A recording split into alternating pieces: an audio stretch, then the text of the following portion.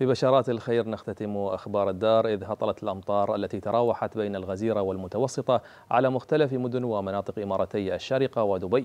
وتفصيلا هطلت الأمطار التي تسببت بجريان الشعاب وامتلاء الأودية بالمياه والتي كانت مصحوبة ببرق ورعد ورياح هابطة. هطلت على مناطق السيوح ونزوة بالإضافة إلى الخوانيج وطريق دبي العين. هذا وتوقع المركز الوطني للأرصاد أن يكون الطقس غدا صحوا إلى غائما جزئيا وحارا ومغبرا أحيانا نهارا.